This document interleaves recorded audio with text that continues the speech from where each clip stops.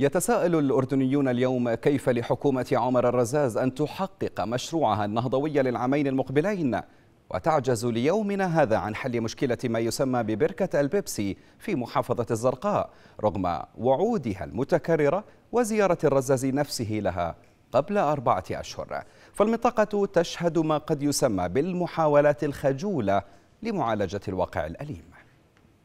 بعد مرور أربعة أشهر على تعهد الحكومة بإيجاد حل جذري لمشكلة بركة البيبسي في لواء رصيفة إلا أن المشكلة ما زالت مستمرة بسبب وقف أمانة عمان العمل بالمنطقة الأمر الذي نتج عنه تشكل البركة بفعل مياه الأمطار. وقف المشروع ما بنعرف شو مشكلته ليش وقف؟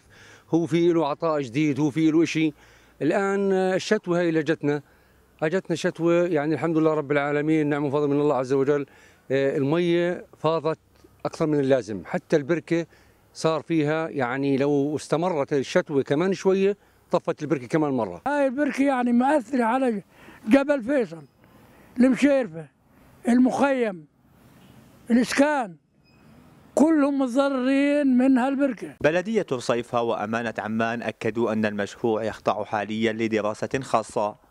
من خلال شركة عالمية بقرض من بنك الإعمار الدولي قيمته 6 ملايين يورو نصفهم منحة والنصف الآخر من الأمانة وأن العمل سيستمر في حال الانتهاء من إجراءات العطاء. هناك 3 مليون دينار منهم مليون وثمانمائة ألف قرض والباقي كله منحة على أن تؤهل هذه المنطقة.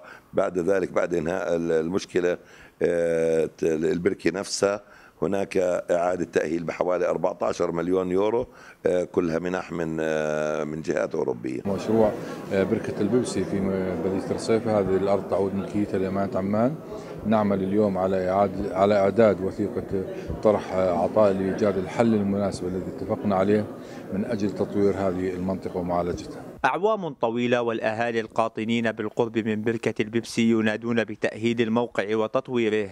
وجعله متنفسا طبيعيا للمواطنين وهو ما توافق مع تعهدات رئيس الحكومة في زيارته للمكان. فهل سيرى مشروع بركة البيبسي النور أم أنها وعود سيغلفها النسيان؟ من محافظة الزرقاء محمد أبو علوان رؤيا